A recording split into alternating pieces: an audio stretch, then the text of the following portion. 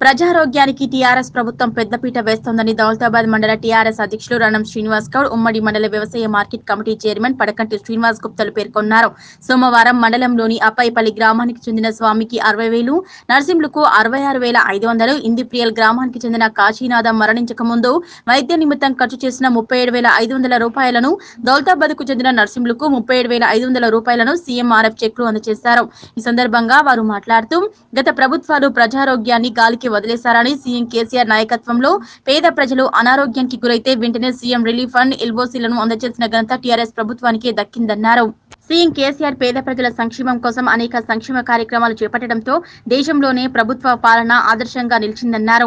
CMRF చెక్కుల పంపిణీ ఉమ్మడి దౌలతాబాద్ రాయపూల్ మండలాల్లో అనేక మంది ఇవ్వడంతో నేడు వారందరూ హర్షిస్తున్నారని గుర్తు చేశారు. ప్రతిపక్ష పార్టీలు కేవలం రాజకీయ స్వలభం కోసమే పాకులాడుతున్నారే తప్ప ప్రజలకు ఒరగబెట్టింది ఏమీ లేదని ఎద్దేవా చేశారు. అన్ని గ్రామాల్లో ప్రభుత్వ పథకాలు నేరుగా వారి ఖాతాలో జమ కావడంపై అధికారులకు ఆస్కారం లేకుండా సంక్షేమ ఫలాలు అందుతున్నాయన్నారు. ఈ కార్యక్రమంలో గ్రామ సర్పంచ్ సుగుణ ఎంపీటీసీ వీరమ్మ మల్లేశం గ్రామ నాయకులు యాదగిరితో పాటు కార్యకర్తలు పాల్గొన్నారు. నిరుపేద ప్రజలు కార్పొరేట్ హాస్పిటల్కి పోయి వాళ్ళకి ఎక్కువ డబ్బులు ఖర్చు అయ్యి కొట్టుమిట్టాడుతున్న తరుణంలో రాష్ట్ర ప్రభుత్వం వాళ్ళకైన బిల్స్ను గౌరవ పార్లమెంటు సభ్యులు మంత్రి హరీష్ రావు గారు తెప్పించుకొని ఈరోజు వాళ్ళకు చెక్కులు ఇవ్వడం జరిగింది.